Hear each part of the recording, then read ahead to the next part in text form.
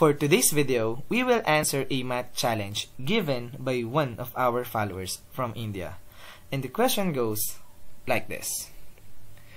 What is the value of AB plus BC plus AC given these three equations a squared plus b squared plus ab equals 11 squared b squared plus c squared plus bc equals 13 squared and c squared plus a squared plus ac equals 20 squared wherein a, b, and c are both positive real numbers. Then what is the value of this expression? Ab plus bc plus ac now you can pause this video if you want to give this problem a try.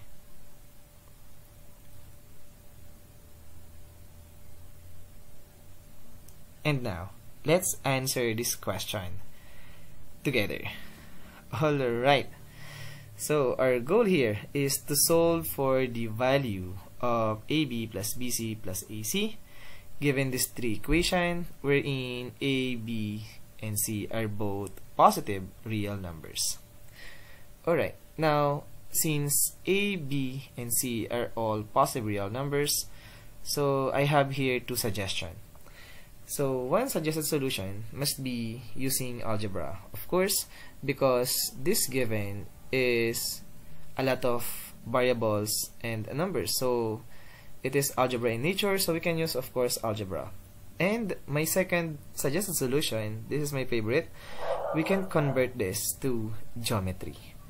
Alright so using algebra it takes me a lot of time to answer this kind of question. So let's eliminate the case of solving this using algebra but instead I will show you the solution to this one using geometry. Alright, now the question is what concept in geometry do we need to use to answer this kind of question? So we cannot use Pythagorean theorem because we know we have a squared plus b squared and c squared, we have three square numbers, but we have an extra expression ab. So Pythagorean theorem is not that helpful to this kind of situation. But take note, aside from Pythagorean theorem, we have also what we call the cosine law. Now, cosine law states that if we have this kind of triangle, so we have c squared equals a squared plus b squared minus 2ab multiplied by the cosine of angle c. Now, why is this important? Now take note, we have here c, if we let c equals 11, so we have 11 squared right here, we have 11 squared. We have a squared plus b squared. This is also visible in this equation. And we get an extra ab right over here. And that is what we want. Alright? So using this cosine law it tells us that this negative 2 this factor negative 2 times cosine of c must be equal to 1 and since we will use this in this three equation so why not we let this angle, those angle, angle C, angle A, angle B, and let's call this as theta. Alright, so negative 2 times cosine of theta must be equal to 1. So this is the condition that we need for us to use the cosine law in this kind of question. So now let's find what is this angle theta. So let's solve this. First, let's divide both sides by negative 2. So cosine of theta equals negative 1 half. Next, let's take the arc cosine on both sides. So theta equals arc cosine of negative 1 half. And arc cosine of negative 1 half, sure enough, we get a value of 120 degrees. So this angle right here, or the angle that we want, must be equal to 120 degrees.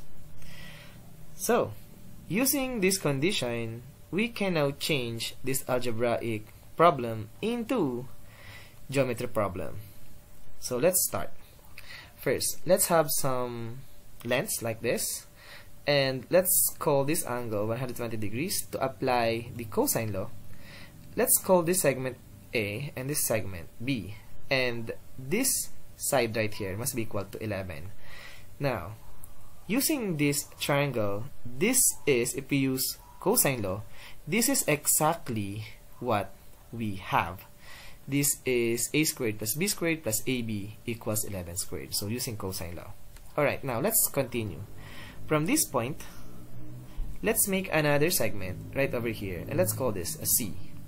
And then this point and this point, let's connect this one and let's have again 120 degrees and we have 13 this side. Now, using cosine law on this triangle, we get the second equation. So we have b squared plus c squared plus bc equals 13 squared. And if we connect this point to this point, and we call this as 20, this triangle right here, if we use cosine law, we get the third equation, c squared plus a squared plus ac equals 20 squared. So, this algebraic eh, question can be converted into this geometric problem. So again, let's focus on this figure. Now, the main question is, again, what is the value of AB plus BC plus AC? But this is now easy to solve. Now, what we're going to do here is to get the area of this triangle. And in order to get the area of this triangle using its side, we will use the Heron's formula. Now, using Heron's formula, we have A, or the area of this triangle, equals square root of S multiplied by S minus A multiplied by S minus B multiplied by S minus C, wherein S is the semi-perimeter. So we can now get the semi-perimeter because all of this side length of the triangle are given. So let's use this. So S, or the semi-perimeter, must be equal to 20 plus 11 plus 13 divided by 2. Now 20 plus 11 plus 13, this will give us 44. And 44 divided by 2, this will give us 22. So this is our semi-perimeter. So we can now get the area using the Heron's formula. If we do that, we get something. Like the area of this triangle must be equal to the square root of 22, this is S, multiplied by 22 minus 20, multiply by 22 minus 11, multiply by 22 minus 13. Now let's solve for the area of this triangle. Now 22 minus 20, this is just 2. 22 minus 11, this is just 11. 22 minus 13, this is just 9. Alright.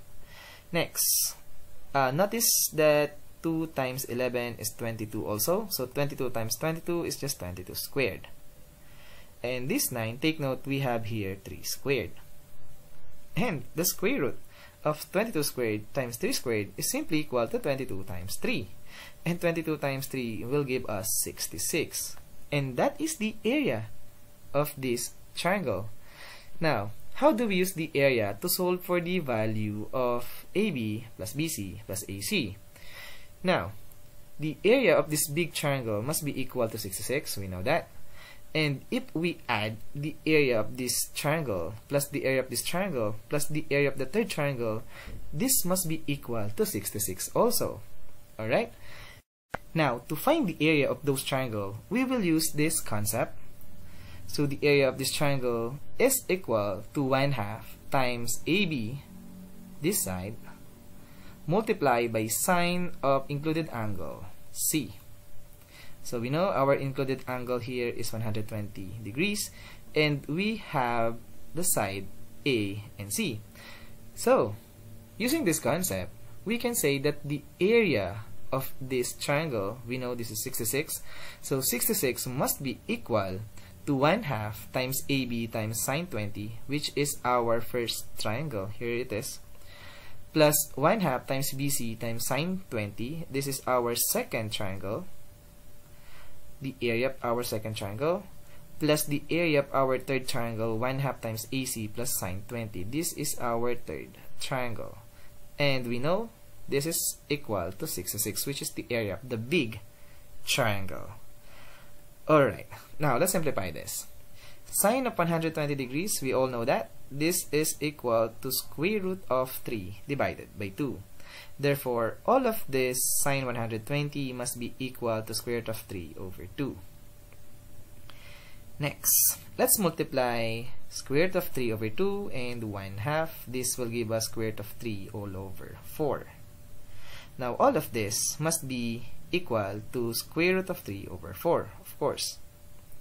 Now, let's focus on this equation.